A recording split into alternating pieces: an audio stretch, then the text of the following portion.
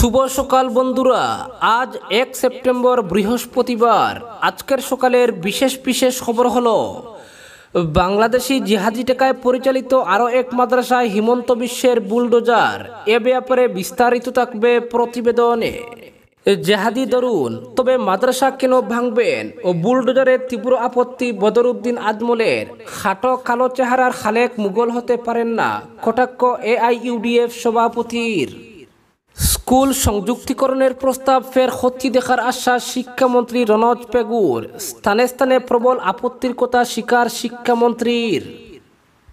নয়া মুখ্য সচিবের দায়িত্ব নিলেন পবন কুমার বরঠাকুর। জিষ্ণু বড়ুয়াকে বিদায় সংবর্ধনা মুখ্যমন্ত্রীর। তিন বছরেই শিলচর সদরঘাটের নয়া সেতুর ভগ্নদশা। জনপ্রতিনিধিদের নীরব ভূমিকা লজ্জাজনক। অভিযোগ নিত্যযাত্রীদের। ডিএলআইসির নবম, দশম শ্রেণির ষান্মাসিক পরীক্ষা বিশ সেপ্টেম্বর থেকে কোর্স নিয়ে দ্বন্দ্বে পড়েছেন শিক্ষকরা। আদালতের নির্দেশে করিমগঞ্জ জেলা পরিষদের চেয়ারম্যান পদে পুনর্বহাল আশিস নাথ, কিন্তু তালা ব্যাঙ্গে চেয়ার দখল বিমলার। করিমগঞ্জের সলগইয়ে গ্রেফতার চার জুয়াড়ির জেল হাজত। সাম্প্রতিক বন্যায় বিধ্বস্ত দুর্গাপূজা কমিটিগুলিকে যথাসম্ভব আর্থিক অনুদানের জন্য আসামের মুখ্যমন্ত্রীকে আর্জি বরাক ডেমোক্রেটিক ফ্রন্টের। এবং সর্বশেষ খবরটি হল, ফের মৃত্যুদণ্ডের ঘোষণা আলফা স্বাধীনে। এবারে শুনুন বিস্তারিত খবর। প্রতিদিনের সকাল সন্ধ্যার গুরুত্বপূর্ণ খবরাখবর পেতে অবশ্যই চ্যানেলটি ফলো করে ভিডিওটি শেয়ার করুন। মরিগাঁও জেলার অন্তর্গত ময়রাবাড়ি এবং বরপেটায় বাংলাদেশি জিহাদি টেকায় পরিচালিত দুই মাদ্রাসার পর গতকাল হিমন্ত বিশ্বের বুলডোজার চলেছে বঙ্গাইগাঁও জেলার যোগীগুপায় আল কায়দা পরিচালিত। কাবাইতারি মার্কাজুল মারিফ উল কারিয়ানা মাদ্রাসা। এই মাদ্রাসার শিক্ষক মুফতি হাফিজুর রহমানকে গ্রেফতারের পর উচ্ছেদ অভিযান চালানো হয়েছে বলে জেলা প্রশাসন সূত্রে জানা গেছে। স্থানীয় মানুষজনের সহায়তায় গতরাত থেকেই উচ্ছেদ অভিযানের প্রস্তুতি চালানো হচ্ছিল।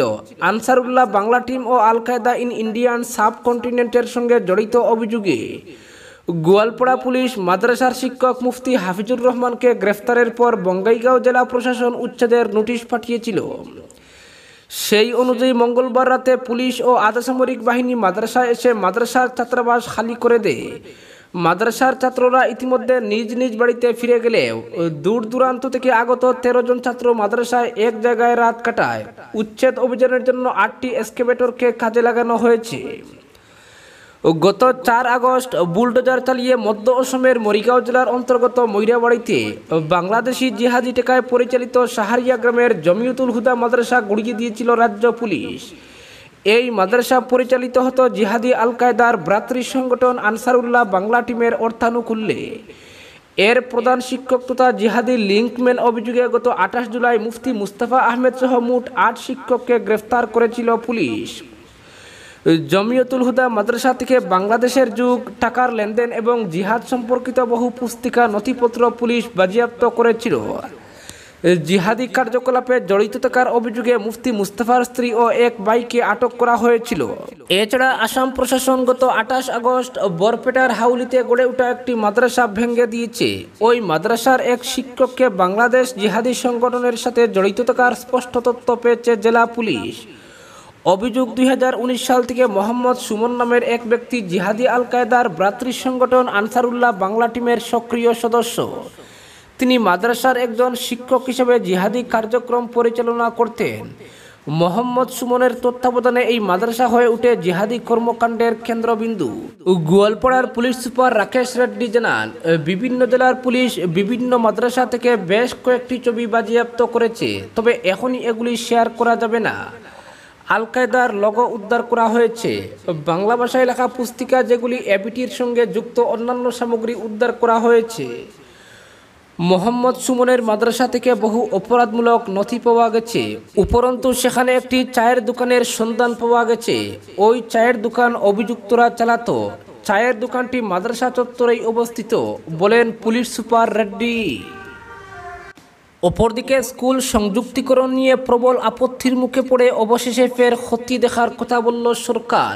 শিক্ষামন্ত্রী রনজ পেগু বুধবার ঘোষণা করেছেন স্কুল সংযুক্তিকরণের প্রস্তাবগুলি ফের ক্ষতি দেখা হবে। তবে সংযুক্তিকরণের প্রক্রিয়া যে স্থগিত হবে না সেটাও জানিয়েছেন তিনি। কিন্তু যেসব স্থানে স্কুল সংযুক্তিকরণ নিয়ে আপত্তি উঠেছে, সেই সব ফের হত্যি দেখবে শিক্ষা বিভাগ। উল্লেখ্য রাজ্যে বিভিন্ন পর্যায়ের স্কুল বন্ধ করে পার্শ্ববর্তী অন্য স্কুলের সঙ্গে সংযুক্ত করা হচ্ছে। মূলত পড়ুয়ার সংখ্যা কম থাকা এবং একই স্থানে থাকা একাধিক স্কুলের ক্ষেত্রেই ওই ব্যবস্থা নেওয়া হচ্ছে। কিন্তু সরকারের স্কুল সংযুক্তিকরণের প্রক্রিয়া নিয়ে প্রবল আপত্তি উঠেছে স্থানে স্থানে, কারণ পর্যাপ্ত পড়ুয়া থাকা স্কুলও অন্য স্কুলের সঙ্গে সংযুক্ত করা হচ্ছে। তাই সংযুক্তিকরণের প্রস্তাবগুলি ফের হচ্ছি দেখতে সম্মত হয়েছেন শিক্ষামন্ত্রী। এদিন তিনি বলেন, যেসব স্কুলের ভালো পরিকাঠামো রয়েছে, নিজস্ব জমি রয়েছে, পড়ুয়াও রয়েছে পর্যাপ্ত সংখ্যক, সেই স্কুল অন্য স্থানে না গিয়ে নিজেই বেস্ট স্কুল হতে পারে। দুই হাজার সতেরো সালের শিক্ষা প্রতিষ্ঠান প্রাদেশিকীকরণ আইনের সেই ব্যবস্থা রয়েছে। ফলে স্কুল সংযুক্তিকরণের প্রস্তাবগুলি ফের পর্যালোচনা করা হবে। স্কুল সংযুক্তিকরণ নিয়ে স্থানে স্থানে জনগণের আপত্তি থাকার কথা জানিয়ে তিনি বলেন কিছু লোক আপত্তি করছেন, এভাবে স্কুল সংযুক্তিকরণ করা ঠিক নয়। আমি নিজেও বাস্তবের জমিতে গিয়ে দেখেছি, জেলা থেকে যে প্রস্তাব পাঠানো হয়েছে এর সঙ্গে অমিল রয়েছে।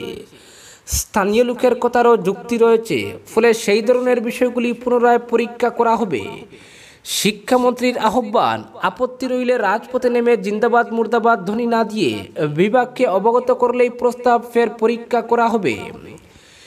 শিক্ষামন্ত্রীর ইমেইলে Ranoj Pegu at the rate gmail dot কমে আপত্তি জানানো যাবে। সংযুক্তিকরণের প্রক্রিয়া যে স্থগিত হবে না সেটাও স্পষ্ট করে দিয়েছেন তিনি। শিক্ষামন্ত্রী পেগু বলেন, স্কুল ইন্সপেক্টর, শিক্ষাধিকারিকদের সঙ্গে আলোচনা করে শিক্ষাক্ষেত্র প্রকল্পের ত্রুটি দূর করতে ব্যবস্থা নেওয়া হবে। তবে স্কুল সংযুক্তিকরণের প্রক্রিয়া চলতেই থাকবে। শুধু প্রস্তাবগুলি ফের হচ্ছি দেখা হবে। অপরদিকে district level internal examination committee অর্থাৎ ডিএলআইইসি পরিচালিত নবম ও দশম শ্রেণির পরীক্ষা আগামী বিশ সেপ্টেম্বর থেকে অনুষ্ঠিত হবে। জেলার প্রাদেশিকীকৃত হাই ও হায়ার সেকেন্ডারি স্কুলগুলোর নবম ও দশম শ্রেণির ছাত্রছাত্রীরা ডিএলআইইসির অধীনে ষান্মাসিক পরীক্ষায় বসবে। পরীক্ষার রুটিন ইতিমধ্যে প্রকাশিত হয়েছে। বিশ সেপ্টেম্বর থেকে ত্রিশ সেপ্টেম্বর পর্যন্ত পরীক্ষা চলবে। পরীক্ষা হবে দুটি শিফটে সকাল নয়টা থেকে বারোটা এবং দুপুর সাড়ে বারোটা থেকে সাড়ে তিনটা পর্যন্ত। ডিএলআইইসির জারি করা সূচি মতে, বিশ সেপ্টেম্বর বাংলা, বাইশ সেপ্টেম্বর ইংরেজি, চব্বিশ সেপ্টেম্বর অঙ্ক, ছাব্বিশ সেপ্টেম্বর বিজ্ঞান, আঠাশ সেপ্টেম্বর সমাজ বিজ্ঞান উনত্রিশ সেপ্টেম্বর ইলেকট্রিক সাবজেক্টগুলোর প্র্যাকটিক্যাল পরীক্ষা, ত্রিশ ইলেকটিভ সাবজেক্ট থিওরি পরীক্ষা। নবম, দশম শ্রেণির ষান্মাসিক পরীক্ষার রুটিন একই। নবম শ্রেণির পরীক্ষা অনুষ্ঠিত হবে সকাল নয়টা থেকে। দশম শ্রেণির পরীক্ষা শুরু হবে দুপুর সাড়ে বারোটা থেকে। বিদ্যালয়সমূহের পরিদর্শক ও ডিএলআইইসির সম্পাদক যৌথভাবে রুটিনে স্বাক্ষর করেছেন। নবম, দশম শ্রেণির পরীক্ষা আয়োজন করার জন্য ছাত্রছাত্রীদের কাছ থেকে ফি আদায় করা হয়েছে একশো বিশ টাকা। ডিএলআইইসি কেন্দ্রীয়ভাবে প্রশ্নপত্র ছাপাবে। নির্দিষ্ট বিষয়ের পরীক্ষার দিন ফিডার স্কুলগুলো প্রশ্নপত্রের প্যাকেট সংগ্রহ করবে স্কুলের সেন্টার ইনচার্জের কাছ থেকে। পরীক্ষা শেষ হওয়ার পর উত্তরগুলো পরীক্ষা করবে ডিএলআইইসির নির্দেশিত বিদ্যালয়গুলো। একই স্কুলের ছাত্রছাত্রীদের উত্তরপত্র সেই স্কুলে পরীক্ষা করা হবে না। নবম, দশম শ্রেণির ষান্মাসিক পরীক্ষার মাত্র উনিশ দিন হাতে রয়েছে। ডিএলআইইসি রুটিন প্রকাশ করার সঙ্গে সঙ্গে কোর্স নিয়ে দ্বন্দ্বে পড়েছেন শিক্ষকরা। সেবার একাডেমিক ক্যালেন্ডার মতে সেপ্টেম্বর মাস পর্যন্ত প্রতিটি বিষয়ের যে চ্যাপ্টার উল্লেখ করা হয়েছে, সেটুকু নবম ও দশম শ্রেণির কোর্সে থাকবে। নাকি একাডেমিক ক্যালেন্ডারে আগস্ট পর্যন্ত উল্লেখিত চ্যাপ্টারগুলোর মধ্যে ষান্মাসিক পরীক্ষার কোর্স সীমাবদ্ধ থাকবে? ডিএলআইইসি থেকে এ ব্যাপারে বিদ্যালয়গুলোতে স্পষ্ট নির্দেশনা দেওয়া হয়নি। শুধু তাই নয়, প্রশ্নপত্রের ধরন নিয়েও একাংশ শিক্ষকের ধারণা স্পষ্ট নয়। সেবার নির্দেশনা মতে, পঞ্চাশ শতাংশ প্রশ্ন থাকবে এক নম্বরের, বাকি পঞ্চাশ শতাংশ দুই, তিন ও পাঁচ নম্বরের থাকবে। ইউনিট টেস্টের প্রশ্নগুলোতে পঞ্চাশ শতাংশ প্রশ্ন এক নম্বর ও বাকি পঞ্চাশ শতাংশ মাঝারি ও বড় প্রশ্ন এভাবেই সাজানো হয়েছে। অপরদিকে কুম্ভীরগ্রাম বিমানবন্দর সহ গোটা মণিপুর রাজ্যের সঙ্গে যোগাযোগ রক্ষাকারী শিলচর সদরঘাটে বরাক নদীর উপর নবনির্মিত সেতুটি আজ শহরবাসীর চক্ষু লজ্জার অন্যতম কারণ। তৎকালীন মুখ্যমন্ত্রী সর্বানন্দ সোনোয়ালের হাত ধরে সেতুর উদ্ঘাটনের তিন বছরের মাথায় ও ভগ্নদশা নিত্যযাত্রীদের মাথা ব্যথার অন্যতম কারণ হয়ে উঠেছে। সাদামাটা ভাষায় শুধুমাত্র পরিচর্যার অভাবে সেতুটি আজ দুর্ঘটনা প্রবণ এলাকা হিসেবে চিহ্নিত। নিত্যযাত্রীদের একটা অংশ এক্ষেত্রে রাজ্য সরকারকেই দায়ী করছে, আবার কিছু সংখ্যক পূর্ত বিভাগের উদাসীনতাকেই কাঠগড়ায় তুলছে। যদিও সমস্যা নিজের জায়গাতেই বহাল তবিয়তে অবস্থান করছে, উল্লেখ্য রাজ্যের পূর্ত বিভাগের রোড ডিভিশনের তত্ত্বাবধানে।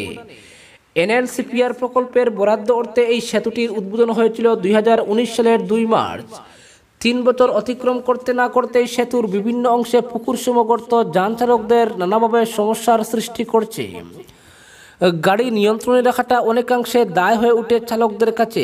বিশেষ করে দূর দূরান্ত থেকে বিমানে আসা যাত্রীদের শহরের প্রবেশ মুখে এ ধরনের অভিজ্ঞতা নিঃসন্দেহে শিলচরকে নিয়ে ভালো ধারণার জন্ম দেয় না। স্বভাবতই প্রশ্ন জাগে, সড়ক সেতু নির্মাণে রাজ্য সরকার কাড়ি কাড়ি অর্থ বরাদ্দ করছে, কিন্তু একটা প্রকল্প নির্মাণের পরপরই ভগ্নদশার দিকে এগোবে, জনগণ এর ফলভোগ করবেন। যদিও একটা প্রকল্প গড়ে ওঠা থেকে শুরু করে পরবর্তী পর্যায়ে রক্ষণাবেক্ষণের ক্ষেত্রেও বরাদ্দ হয়ে থাকে, ফলে এর রক্ষণাবেক্ষণের দায়িত্ব কারও না কারোর ঘাড়ে বর্তায়। সেই হিসেবে নবনির্মিত সদরঘাট সেতুর সাম্প্রতিক এই দৈন্যদশার দায় কার এক বাইক আরোহী নিত্যযাত্রী নির্দ্বিধায় এক্ষেত্রে স্থানীয় জনপ্রতিনিধিদের ওই দায়ী করছেন। তিনি বলেন, ওই রাস্তার উপর দিয়ে অনেক জনপ্রতিনিধি বিধায়ক সাংসদ নিয়মিত যাতায়াত করে থাকেন। কিন্তু সাম্প্রতিক পরিস্থিতিতে জনগণের সমস্যায় তাদের বিন্দুমাত্র মাথা ব্যথা নেই। তবে একথা ঠিক বুট এলে পরেই তাদের টনক নড়বে, প্রয়োজনে বের হবে সমাধান সূত্র। অপরদিকে ফের মৃত্যুদণ্ডের ঘোষণা আলফা স্বাধীনে, শিবির থেকে একাধিকবার পালানোর চেষ্টা করলে নিষিদ্ধ জঙ্গি সংগঠন United Liberation Front of Assam Independent. অর্থাৎ আলফা আই আরেকজন ক্যাডারকে মৃত্যুদণ্ড দিল। নিষিদ্ধ সংগঠনটি বুধবার একটি বিবৃতির মাধ্যমে একথা জানিয়েছে। সংগঠনটির বিবৃতিতে আরও জানানো হয়েছে, ওই ক্যাডারের নাম রিহান আসাম ওরফে মোহাম্মদ সাইফুল ইসলাম। রিহান আসামের গোয়ালপাড়া জেলার লক্ষ্মীপুর গ্রামের বাসিন্দা। চলতি বছরের জুলাইয়ের আঠাশ তারিখ আলফা আই শিবির থেকে প্রথম পালানোর চেষ্টা করেছিল রিহান আসাম ওরফে মোহাম্মদ সাইফুল ইসলাম। ও ভোর রাতে টহলদারিতে থাকা জওয়ানদের হাতে ধরা পড়ে সে তারপর তার নিম্ন সদনে বিচার হয়। সাইফুলকে শারীরিক শ্রম দিয়ে ক্ষমা করে দেয় সংগঠন। এরপর তেইশ আগস্ট ফের শিবির থেকে পালানোর চেষ্টা করে ওই তরুণ। তারপরও তাকে ধরে ফেলে সংগঠনের সদস্যরা। তারপর ফের একবার পঁচিশ আগস্ট পালানোর চেষ্টা করে, কিন্তু পালাতে পারেনি। তাকে ধরে ফেলে সংগঠনের সদস্যরা। পরে তাকে গ্রেফতার করা হয়। এরপর নিম্ন সদনে বিচারের সমস্ত ঘটনা পর্যবেক্ষণ করে আলফা আই তরুণ মোহাম্মদ সাইফুল ইসলামকে মৃত্যুদণ্ড দেওয়ার সিদ্ধান্ত ঘোষণা করে। চলতি বছরে এই নিয়ে সংগঠনটির তিনজন ক্যাডারের মৃত্যু হল। এর আগে গত মে মাসে আসাম পুলিশের পক্ষ থেকে দলে গুপ্তচর বৃত্তি করার অভিযোগে অন্য দুই ক্যাডারের মৃত্যুদণ্ড হয়েছিল। ওই দুই ক্যাডারের নাম দঞ্জিত দাস ওরফে রূপক অসম ও সঞ্জীব শর্মা ওরফে ঋষাব অসম। দঞ্জিত দাস নিম্ন আসামের বরপেটা জেলার বাসিন্দা এবং সঞ্জীব শর্মা কামরূপ জেলার বাইহাটা চারিয়ালির বাসিন্দা। আজকের বিশেষ বিশেষ সংবাদ এখানেই সমাপ্ত।